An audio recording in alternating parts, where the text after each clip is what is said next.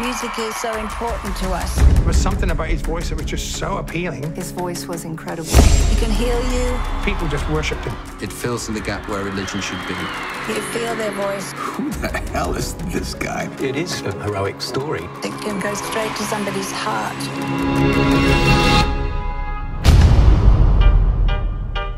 One is the loneliest number that you'll ever do.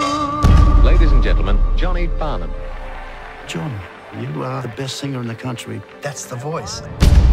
Either I was working or I was asleep. So when I was awake, I was vulnerable.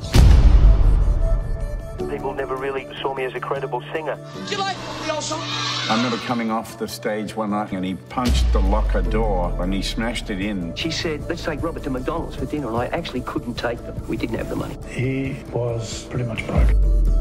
Do you ever get depressed at all? Yeah, a lot. I tried to get him a record deal, and everybody passed. We lost track of John. His spectacular voice was missing in action. The story of Glenn's belief in John is legendary. This was John's almost audition to the world again. My publishing company said, John Farnham has recorded You're the Voice. Is it okay to give him permission? And I said, no.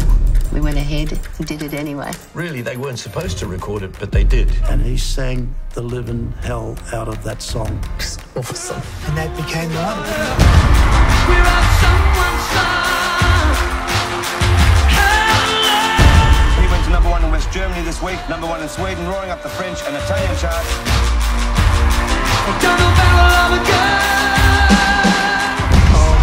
He found his voice. That's is dangerous. We won't surrender. You don't like to think of yourself as a legend, but you are.